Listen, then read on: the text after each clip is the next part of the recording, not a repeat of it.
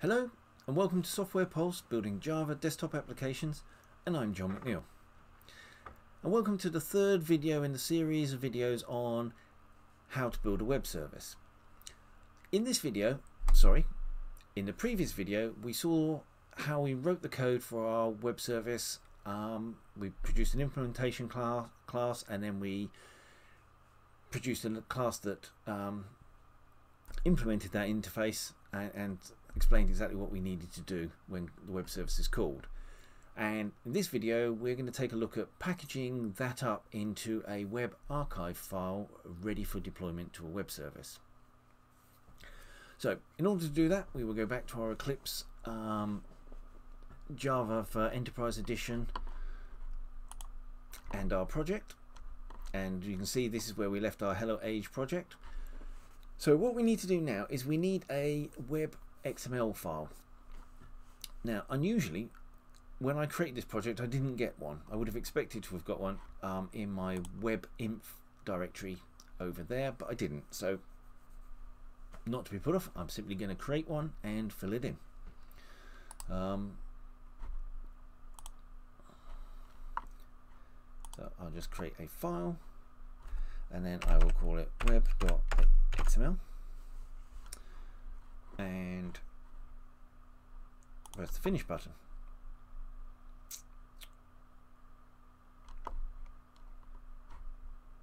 What I'm going to do now is I'm going to populate this file and then I'll talk a bit about it. So the first two lines that's just simply the, header for the WebXML file. Um, it's a standard thing. You just copy it and paste it into the one you're doing if, it, if you don't have one. The next bit um, is we're making use of a listener class that is provided as part of the whole Java environment. It's, provided so that Java's got something it can you can use as a listener. Um, so we're just reusing that. And then the next bit is the bit where it's specific to us. So do you remember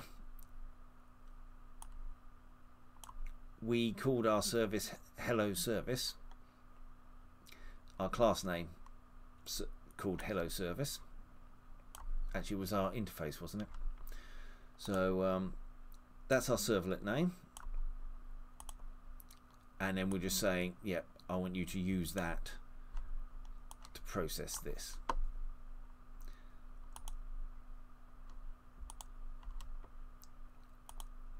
and then we come down to the mapping. So we're saying our servlet name that we've just said we're going to use up here right? Is that and then we're going to have a hello URL pattern. So you didn't see this when I used SOAP UI to call the web service but when I called the web service in SOAP UI I actually passed the hello to you URL pattern. Um, and because of this mapping here it knew to invoke this hello service class. So I'm going to save that. And over in our WEB-INF directory we now have our webxml. But we need another file that's missing. What we need is we need something to tell the Java, Java API um, how to connect to the web service. So we use a JAX web service, so a Java extended web service XML file. So again, we're going to create a file in exactly the same way as we did for the web XML in exactly the same place. Um, but now we're Java extended web service dot .xml. and and again what I'm going to do is um, I'm going to put the text in here. So again the, the first two lines is a copy and paste for that's what it needs. And then we have to define the endpoints.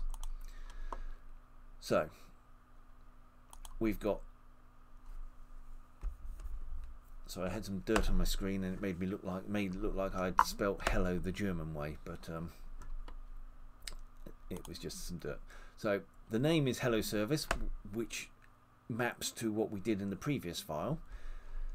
The implementation for it, so so far we've been putting it the interface. The implementation is this Hello Service imp, so the whole package name to it, and the URL pattern that needs to be that's going to be used is hello to you.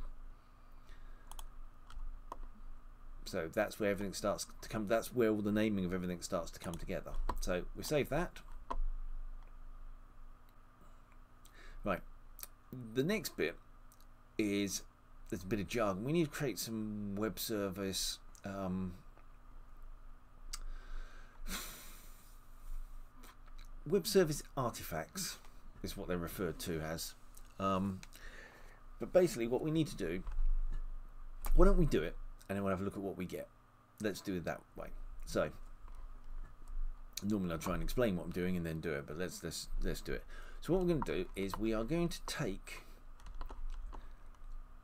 these two files, the implementation and the um, and the interface files, from the point of software pulse, which was my entry point. So that's the start of the package. So I'm just going to right click on software pulse and copy. And I'm going to find a nice folder out of the way and paste all of that in there. So what I'm going to end up with is a big long directory file and my two files. And then what I'm going to do is I'm going to open up a command prompt and I'm going to run um, a, a tool that is provided with Java. It's actually provided with Java Standard Edition. Um, but that's what I'm going to do. So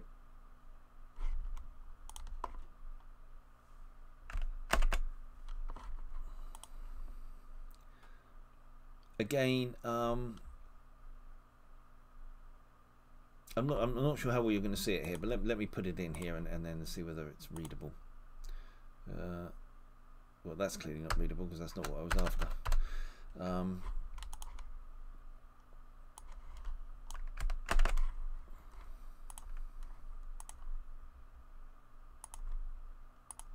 right. So, unlike a lot of people um, who, who do these sorts of things, I don't have Java in my path. I don't have Java home defined. Um, so if I ever want to call anything to do with Java, I have to explicitly call the whole path to where the file is. So the first part, this whole C program files, Java, JDK, 1.8, you see I'm using 1.8.0 underscore 91, bin directory, and then I'm calling wsgen, so web service generate. And I'm passing a switch saying um, hyphen cp, meaning class path, is the current directory I'm in and I'm in this C extras bytecode which is this one here where my the code I wrote in Eclipse is and then I've got hyphen space sorry hyphen keep software pulse hello service imp. So I'm saying after you've processed this don't don't throw away these files keep them for me. Okay so I'm going to press enter and hopefully everything will work.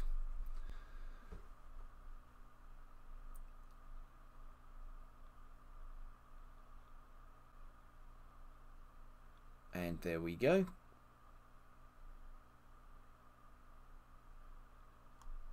doesn't look good though because it looks like it's giving me the help file class not found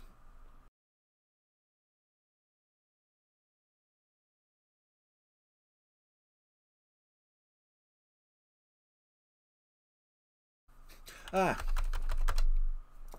I know exactly what I've done wrong. Right, the one thing I was going to tell you don't get wrong, I've gone and got wrong. Um, coming back to Eclipse, I'm sorry about this. Um, you don't want the Java files. You don't want the source code, which is exactly what I copied. You want the compiled class. So just to make sure I get the latest thing, I'm going to build my project. I'm going to go to the build folder, classes, software pulse, web, app, hello age there. So everything from Software Pulse, I'm going to copy. I'll come back to my file here, I'll go all the way back to bytecode and then I will go paste. And I will go yes, replace all of that. And now when I come in here, I actually want to just remove those two Java files so there's no confusion. I've got the class files, so this is the bytecode of my web service. Um, so now if I go back to my command prompt, that should work.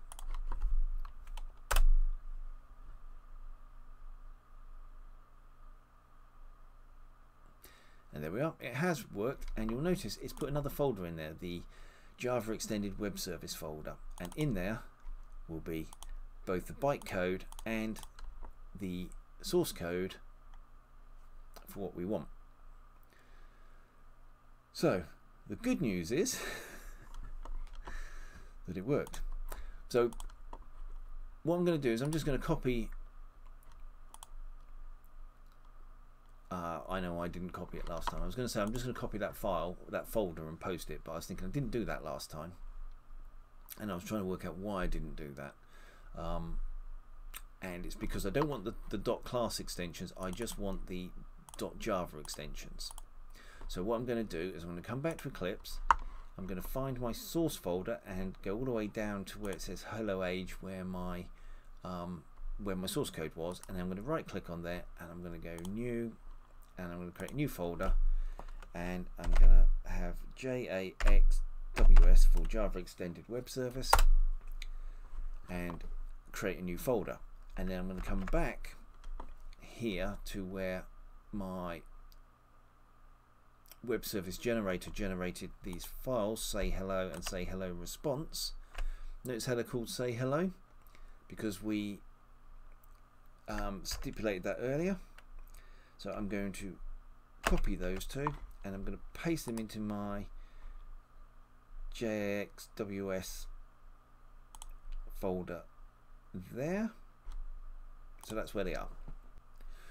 So um, why don't we open up those files and see what we've got. So say hello. Um, so it's just saying that it's going to get two arguments um, one is going to go there, sorry arg0, and one is going to be there, an integer.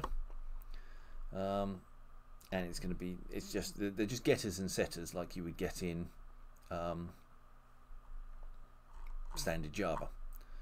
Uh, so it's a plain old Java object if you if you if you like to think of it where they've just said we've got two variables and we've got getters and setters for it and then what we've got is a whole load of information here to say what it belongs to or, or say what namespace it belongs to. Um, web services in fact the web in general is very big on namespaces um, very similar to and, and also it's very akin to XML which I think a lot of the web services stuff is built on. And then hello response very similar sort of thing um, it's got a return string and a getter and setter for the return string. So I think I believe those two bits that we've just produced get wired up to the web service. So when you call a web service, they do the getting and the setting, and then they get passed back to the classes we've written that do the work, and then they set the response, and then that gets sent back using the web service container and, and the HTML server. So the hardest part about any web service is the packaging and wiring everything up. The actual code, whilst challenging, can be challenging.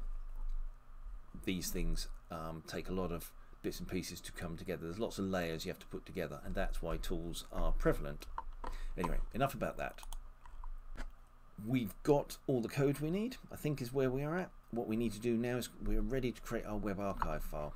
So I'm just going to build the project again just to make sure that, uh, oh mainly because I regenerated these hello class files, say hello class file and say hello response class file. I could have copied and pasted the ones we had in the folder, but I can just regenerate them now because I've got the source code. So when we're there, um, so what we can do now is um, I want to do a file export and probably web.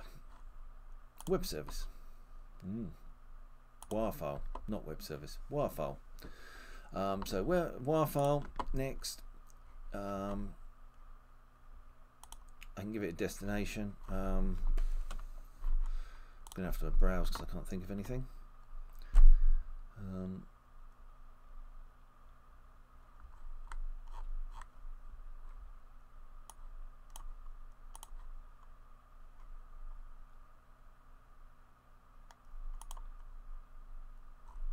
uh, extras. I'll put it in extras.